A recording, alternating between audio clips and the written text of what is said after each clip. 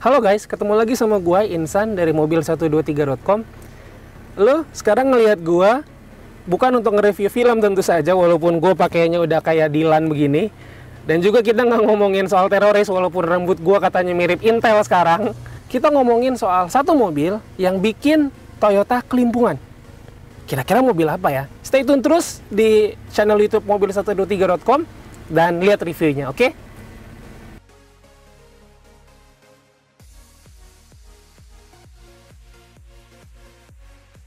Ini dia mobil yang gue bicarain tadi. Mobil yang bikin Toyota kerepotan. All new Toyota Rush. Rush generasi kedua ini diluncurin di akhir 2017 dan baru didistribusikan ke pasar pada awal 2018. Ada dua hal yang menarik dari All New Rush di luar dari spesifikasinya. Hal pertama, dalam sesi wawancara setelah peluncuran, uh, Presiden Direktur Toyota Astra Motor sempat mengatakan bahwa ini adalah senjata dari Toyota untuk meladeni jagoan lainnya dari Mitsubishi yaitu Mitsubishi Expander. Jadi mereka ngelawan Expander nggak pakai Avanza saat ini, tapi pakai All New Rush. Hal kedua yang menarik adalah bagaimana Toyota kerepotan memenuhi permintaan dari pasar karena ternyata SPK atau pemesanan yang terkumpul di pasar itu jauh melebihi ekspektasi mereka. Sampai-sampai produksi untuk Rush ini ditambah terus. Memang seperti apa sih istimewanya dari All New Rush ini? Ayo kita kupas bareng-bareng. Kalau biasanya review mobil itu pasti dimulai dari depan, Kali ini kita mulai dari belakang dulu. Kenapa? Karena di Rush generasi kedua ini ada ciri khas yang hilang yaitu adalah tempat penyimpanan ban cadangan di pintu belakang atau orang-orang biasanya nyebutnya konde dari Rush. Lu lihat sekarang, Rush generasi kedua udah nggak punya konde lagi. Toyota menghilangkan konde dari Rush dan memindahkan ban cadangan itu di bawah bagasi belakang. Kalau lu misalnya lihat di sini ubahnya emang jadi stylish banget dan di belakangnya udah ada LED rear combination lamp yang keren. Dan memang kalau gua tanya dari pemilik Rush yang lama, mereka bilang memang tampilan Rush yang sekarang ini zaman now banget. Dan kalau gue pikir-pikir hilangnya Konde Rush itu ada hubungannya juga memang sepertinya sama penambahan dimensi dari mobil ini. Karena Rush ini bertambah panjang sekitar 23 cm dibandingkan generasi yang lama. Hal itu dilakukan untuk membuat mobil ini bukan lagi 5 seater tapi udah 7 seater. Jadi 7 penumpang muat di sini semua. Dan kalau misalnya bodi sepanjang itu ditambahin lagi sama konde, menurut lo kepanjangan nggak sih? Dan memang kalau untuk membuat mobil ini benar-benar jadi stylish, nah kayaknya konde itu emang harus dihilangin. Bayangin aja mobil stylish tapi masih ada kondenya di belakang kan jadi berkurang kan. Dan ini dia tampilan depan dari All New Rush yang memang berubah banget dari segala sisi lo bisa lihat memang perubahannya itu benar-benar signifikan. Udah nggak ada aura rush lama, udah hilang sama sekali. Mulai dari desain bonnet, mulai dari desain grill, lampu depan, sampai bumper, semuanya berubah. Kalau lu bisa lihat di sini, grill depannya sekarang sudah dibuat menyatu sama lampu depan LED. Seperti model-model mobil zaman sekarang. Dan kalau lo lihat hal lain yang asyik dari All New Rush ini adalah garis-garis karakter di bonetnya. Garis-garis karakternya ini menonjol banget. Garis-garis karakternya ini kalau menurut gue maskulin banget dan jantan banget dan berani banget.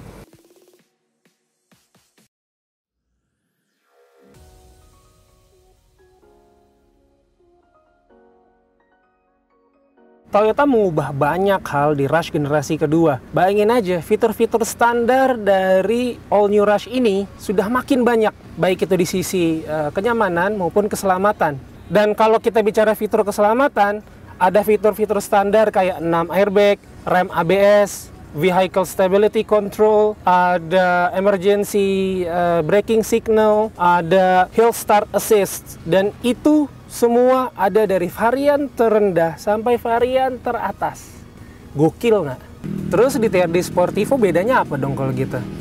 Di varian tertinggi ini, Toyota memberikan diferensiasi berupa warna interior two-tone atau dua nada dengan sentuhan material kulit warna putih yang mereka sebut sebagai soft touch di dashboardnya. Lalu ada juga audio switch control, velg 17 inci yang berbeda dari varian G yang 16 inci, AC digital, power slot di semua baris, smart entry, dan 8 speaker. Bukan cuma 6 speaker tapi 8 speaker. Cara all new Rush berkompetisi juga bukan cuma dari fiturnya aja, tapi juga dari harga. Dengan perubahan sedrastis ini, harga Rush di varian G tetap dan di TRD Sportivo malah turun 3 juta rupiah dan harganya sendiri sampai Juni 2018 berkisar di 239 jutaan sampai 261 jutaan on the road Jakarta. All New Rush ini juga sudah dilengkapi dengan tilt steering, jadi lo bisa nyetel, naik, turun, tinggi rendah dari lingkar kemudinya sesuai sama preferensi lo. Tapi belum ada telescopic steering. Jadi setir ini belum bisa di setel maju mundur. Dan headroom untuk gua itu terasa sangat mudah sekali ya untuk headroom. Dengan tinggi gue yang 171, headroomnya terasa nyaman masih, terasa lega. Dan untuk legroom karena memang ada penambahan panjang, terasa banget di Rush ini jadi lebih lega untuk kaki gua. Terasa lebih leluasa. Panel instrumen dari All New Rush ini sudah memadukan desain analog dan desain digital. Kalau kita lihat misalnya di sini penunjuk RPM-nya masih analog dan juga speedometernya juga masih analog. Yang digital adalah MID. All New Rush sudah memiliki MID yang yang bisa menunjukkan rata-rata efisiensi konsumsi bahan bakar, konsumsi bahan bakar real time, lalu juga ada odometer, trip A, trip B, suhu di dalam kabin, dan juga jarak tempuh yang bisa dipakai dengan bensin yang tersisa. Kalau lihat misalnya tampilan konsol tengahnya, di sini ada head unit 7 inci yang punya bisa kemampuan radio, USB atau iPod, uh, CD, BT audio, kabel aux, telepon sama Miracast. Di bawahnya itu adalah uh, seven seat belt indicator dan di bawahnya adalah AC digital. Nah, di bagian yang paling bawah di sini ada DC socket 12 volt 120 watt. Ini buat ngecas handphone, tapi karena gua nggak bawa kabelnya, ya gua nggak bisa meraktekin. Lu lihat aja sendiri di sini. Rem parkirnya sendiri ada di sini. Rem parkirnya masih berbentuk tuas, belum rem parkir elektrik ya kayak mobil-mobil yang mewah belum. Dan juga belum rem parkir di kaki.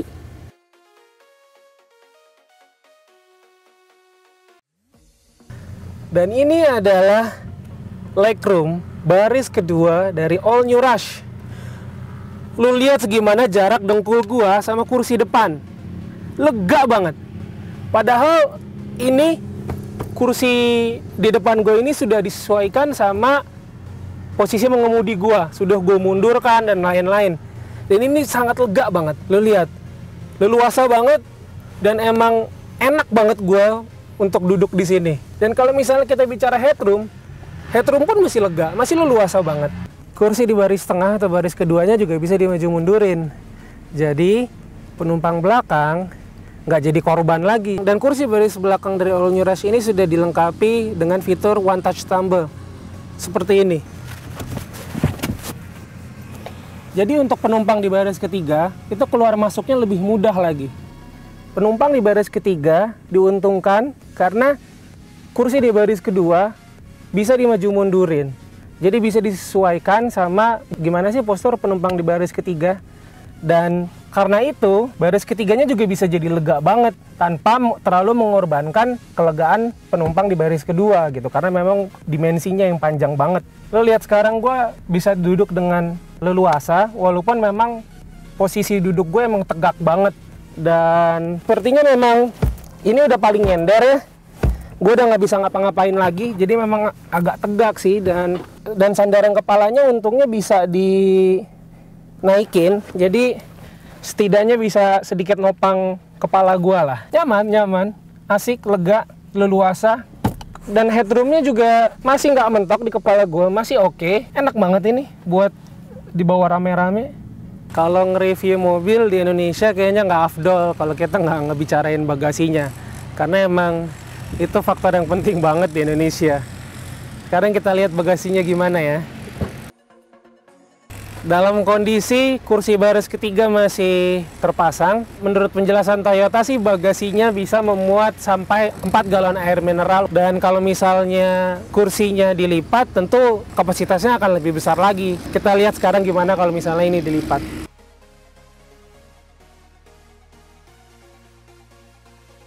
Gede juga sih. Bicara spesifikasi teknis, All New Rush ini punya platform yang sama dengan Avanza.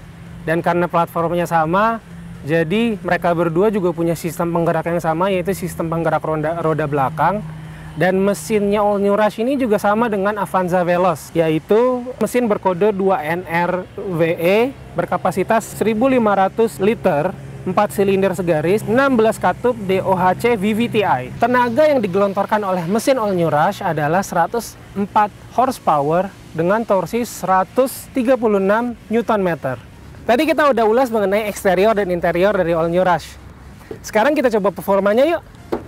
Di varian TRD Sportivo ada satu fitur yang namanya Smart Key System. Jadi, kalau lo mau masuk, lo nggak usah lagi ambil remote lo, lo cukup tekan tombol di gagang pintu ini. Asik kan?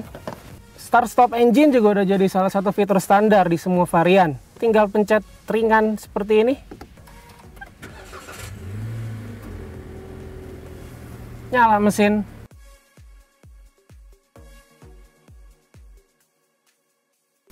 Soal rasa berkendara di All New Rush ini um, yang gua rasain posisi duduknya lebih tinggi ya di generasi kedua ini dibandingkan generasi pertama. Uh, tapi kalau untuk melihat front end atau ujung mau depan mobil itu agak susah. Front endnya nggak kelihatan. Mungkin karena memang posisi desain dashboardnya yang relatif juga tinggi mungkin juga karena desain uh, dari bonetnya atau moncong mobilnya. Dan kalau uh, bicara soal performa satu hal yang gue nggak sangka dari All New Rush adalah uh, tarikan awalnya. Menurut gue tarikan awal dari All New Rush ini responsif. Responsif walaupun dia itu menggunakan transmisi otomatis biasa 4 percepatan dan cukup responsif di kondisi stop and go di kondisi uh, kemacetan Jakarta. Sepertinya Toyota memang memikirkan sekali pengemudi pasti akan seringnya menghadapi kondisi lalu lintas padat di perkotaan ya. Jadi memang uh, kondisi tarikan awal, kondisi stop and go-nya ini memang disetel sedemikian rupa dan menurut gue oke. Satu catatan yang gue tangkap setelah gue berkendara uh, dengan SUV satu ini, begitu lo uh, menemukan lalu lintas yang agak lancar, akselerasinya bisa dibilang cukup lambat lo walaupun RPM lo sudah 2500 ke atas. Sepertinya Toyota memang lebih menekankan pada efisiensi bahan bakar di All New Rush ini terbukti walaupun gaya mengemudi gaya berkendara gua nggak efisien sama sekali nggak eco driving sama sekali tapi konsumsi bahan bakar di MID yang gua lihat masih eh, sekitar 10-11 km per liter. Kan itu lumayan banget. Toyota sendiri mengklaim efisiensi bahan bakar terbaiknya bisa mencapai 14 km per liter. Tapi memang itu tergantung gaya berkendara masing-masing.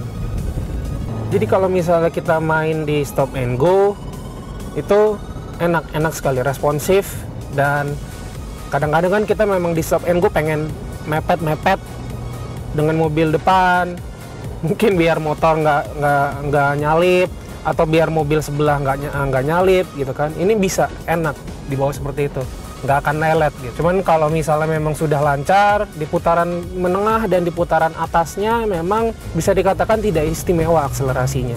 Soal kesenyapan kabin dari All New Rush sudah jauh lebih baik dibandingkan dengan generasi pertama. Insulator tambahan menurut Toyota sudah disematkan di berbagai sisinya dan memang terasa jauh lebih baik, terasa jauh lebih senyap. Walaupun satu hal deru mesinnya masih cukup terdengar oleh gua di dalam kabin. Setelan suspensinya sendiri medium ya. Dia terlalu keras enggak, terlalu empuk juga enggak. Dan kalau menurut keterangan dari pabrikan, ada beberapa uh, perbaikan di sisi suspensi seperti di stabilizer. Sekarang sudah ada stabilizer di suspensi dan shock absorbernya juga ditempurnakan untuk mengurangi gejala limbung di uh, All New Rush. Dan memang di sebuah acara komunitas soal isu limbungnya Rush ini memang jadi satu masukan saat pengembangan mobil ini. Dan terasa ada perbaikan walaupun nggak signifikan di suspensi. Dan uh, gejala body roll itu masih lumayan terasa tapi sudah lebih baik dibandingkan generasi pertama. Buat gua yang berpostur 171 cm dan berat sekitar 80-an kilogram ini desain dari jok kursinya All New Rush juga enak ya di bagian uh, bawahnya paha gue cukup tertopang oleh uh, jok kursi. Dan juga badan gue cukup terpeluk oleh kursi ini. Cuman memang ngepas ngebanget di gua. Mungkin kalau untuk orang yang uh, posturnya lebih besar dari gua itu akan jadi satu catatan juga. Hal lain yang patut diapresiasi dari All New Rush ini adalah fitur-fitur keamanannya yang relatif lengkap seperti misalnya uh, indicator seven seat belt uh, ini yang terdapat di bawah head unit yang akan berbunyi kalau seat belt di pengemudi atau misalnya penumpang kalau misalnya ada penumpang itu nggak dipakai gitu loh. Dia akan berbunyi. Seperti misalnya kalau misalnya sekarang di belakang gue lagi ada kameramen gue Amos. Kalau misalnya dia buka dan itu akan berbunyi gitu. Dan itu menurut gue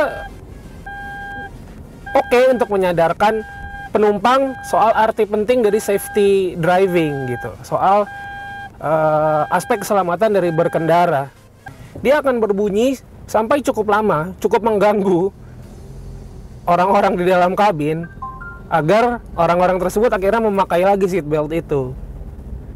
Dan ini menurut gue menarik. Dan ini menurut gue patut uh, diapresiasi. Di panel meter All New Rush ini juga ada fitur Eco Indicator yang membantu kita untuk mengemudi secara hemat bahan bakar.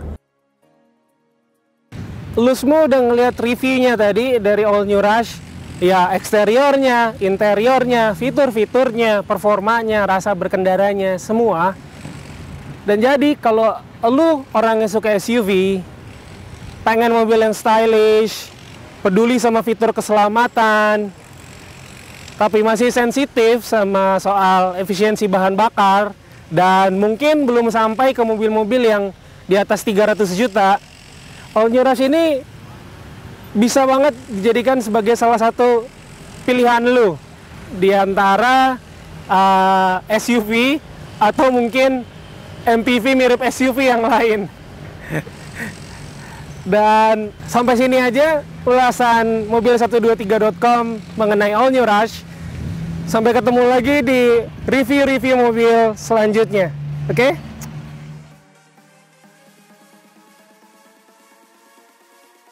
Mobil 123